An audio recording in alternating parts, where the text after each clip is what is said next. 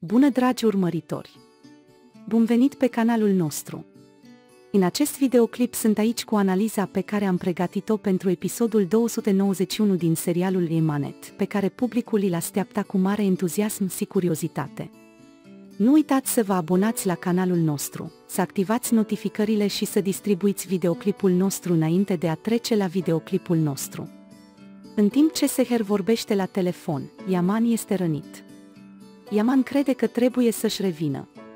Seher îi cere lui Ficret să-l sărute pe Melek la telefon. Yusuf părăsește camera și o întreabă pe Seher când vor pleca. Seher spune că trebuie să aibă grijă de Yaman. Când îl vede pe Seher Yaman, spune multe. Ce spune Yaman? Yusuf îi spune lui Yaman că lui Seher îl place, dar nu i-a spus pentru că era jenat. Seher spune să ieșim acum. Yusuf vrea să facă o fotografie. Canam vorbește cu medicul și îl întreabă ce medicament i-a dat. El îi spune lui Yaman că nu s-a întâmplat nimic. Canan întreabă de ce nu i s-a întâmplat nimic lui Yaman. Ali vine în minte când Duigu spune că nu poate. Duigu plânge acasă. Duigu crede că nu mai poate lucra cu Ali. Emoția se gândește ce să facă. Duigu ia o bucată de hârtie și scrie o petiție pentru numire. Yusuf îi cere lui Seher să se apropie de Yaman. Apoi îi dă lui Seher o pălărie. Seher spune că trebuie să iasă acum. Yaman spune că și-a uitat portofelul. În timp ce Duigu este pe cale să semneze petiția, gândiți-vă la timpul petrecut cu Ali. Gândește-te la ziua în care Ali și-a declarat dragostea pentru ea. Își mototolește scrisoarea de demisie și spune că nu vrea să meargă. Canan îi spune lui Seher că este foarte fericit și că aerul mării le va fi bun. Seher spune că îi va da o veste bună că Zuhal poate merge în curând. Toată lumea îl felicită pe Zuhal. Când Yaman cade, ficatul îl doare din nou. Yaman spune că nu, nu acum. Yaman se chinuie în jos pe scări. Yusuf îl cheamă pe Yaman să vină. Yaman spune că vine. Dar are probleme cu mersul. Apoi începe să-și vadă împrejurimile încețoșate. Seher îl întreabă pe Yaman dacă este bine. Apoi întreabă și Zia. Yaman cade la pământ. Seher Yaman strigă, deschide ochii. Îi spune lui Zia Cenger să cheme o ambulanță. Ali își amintește ziua în care l-a învățat pe Duigu să meargă pe bicicletă în timp ce stătea la secția de poliție. Ali crede că a făcut o greșeală și a pus presiune pe Duigu când erau atâtea lucruri. El crede că ar trebui să uite totul și să se întoarcă la început. Apoi pleacă de la secția de poliție. Seher îl întreabă pe Cenger ce s-a întâmplat cu Yaman.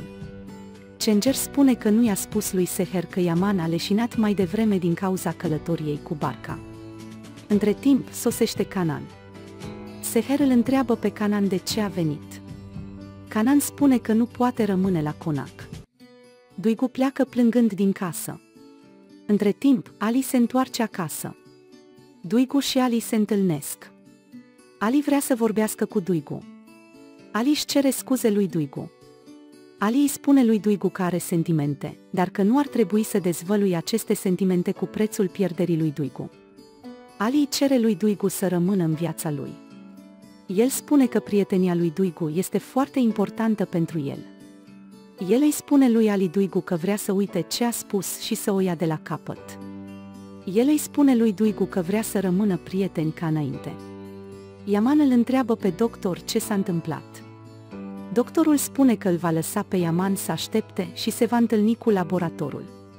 Seher se enervează pentru că nu le spun nimic. Cenger spune că Yaman este puternic. Spune că Seher Cenger are dreptate. Yaman îl întreabă pe doctor ce s-a întâmplat. Doctorul spune că rezultatele testelor anterioare au fost mixte, iar rezultatele lui Yaman au fost proaste.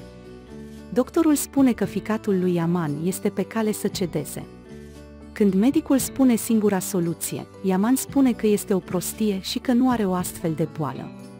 Între timp, Seher intră în cameră și îi spune medicului că vrea să audă rezultatele. Ali întinde mâna lui Duigu să-l scuture. Duigu spune că acest lucru este cel mai bun și dă mâna cu Ali. În timp ce doctorul este pe cale să vorbească, Yaman îi spune lui Seher că este bine, că totul se datorează medicamentului. Seher spune că va părăsi camera. Yaman spune că va vorbi cu medicul despre rețetă și se va stinge. Ali îl întreabă pe Duigu dacă ai fost la plimbare. Spune că este o chestiune de emoție, apoi spune că ne vedem mai târziu și pleacă. Duigu crede că conversațiile ei cu Ali sunt bune și este ușurată. Ali, pe de altă parte, crede că cel mai bun lucru de făcut este să rămână prieteni. Seher este recunoscător că nu s-a întâmplat nimic rău. Canan spune că este foarte ușurată. Doctorul îi spune lui Yaman să rămână în spital. Yaman îi spune medicului să nu spună nimănui despre această situație. Doctorul spune că Yaman se aruncă cu bună știință în foc, care are nevoie de tratament. Yaman spune că nu are o boală vindecabilă. Sultan Hala ajunge în Cara. O întreabă pe Cara ce s-a întâmplat. Cara spune că nu ar trebui să se implice în asta. El spune că Ali a fost sincer cu privire la sentimentele lui pentru Duigu, iar Duigu era supărat pe el. El spune că poate lui Cara Duigu nu-i place Ali. Mătușa Sultan spune că va crede ce vede și că și lui Duigu îi place lui Ali. Mătușa Sultan spune că asta se va întâmpla în cele din urmă. Justiția se roagă ca lui Yaman să nu îi se întâmple nimic. Zia crede că i s-a întâmplat ceva rău lui Yaman. Iusuf îi spune lui Zia că Yaman i-a spus că se va gândi și se va ridica și că și Yaman se va trezi. Zia mai crede că Yaman se va trezi. Zuhal este foarte trist pentru că nu poate scoate niciun sunet despre ceea ce s-a întâmplat și începe să plângă. Cici întreabă despre ce nu au scos niciun sunet. Zuhal spune că Yaman ar trebui să fie cu el. Zuhal îi cere lui Cici să-l sune pe Seher. Între timp sosesc Yamani. Yaman se gândește la ceea ce a spus doctorul.